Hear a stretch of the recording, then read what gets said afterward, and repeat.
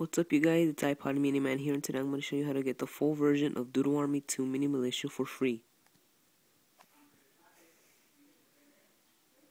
Alright, now I'm just going to show you that this is the full version.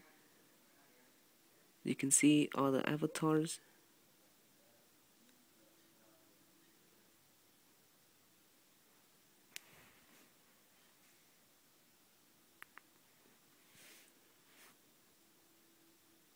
Alright, so of course you're to need a jailbroken device. Then go into Cydia. And um, I've been watching some YouTube videos, and those videos were outdated. This is the most updated video as of 2012.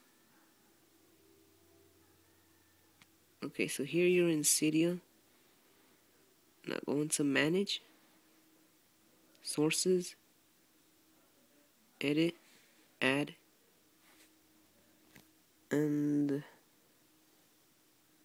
you're gonna wanna add the source I D W. Let me just say it. Idwaneo.com I mean dot org. Idwaneo.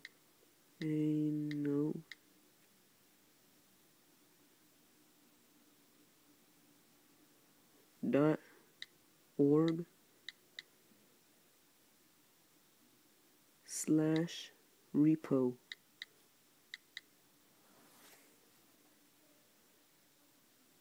There it is.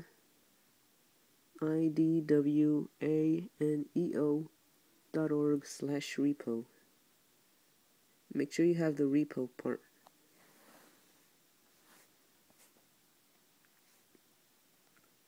And then once you've added the source, you'll see it right there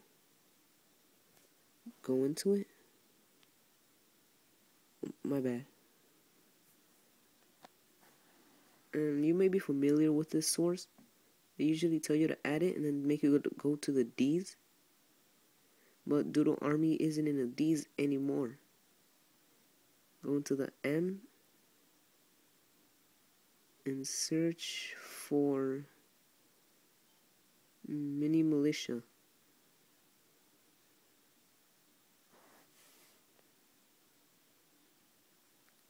This is the one for Doodle Army 2. It is not in the D section anymore, it's in the M section. They moved it due to some weird reason, I'm not sure why. So once you've installed this, it'll install a couple of things. Oh, my bad. It'll install this application. UDID Faker.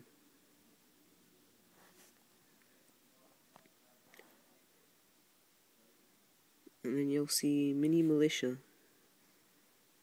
It'll give you with it'll give you your own custom UDID don't change that.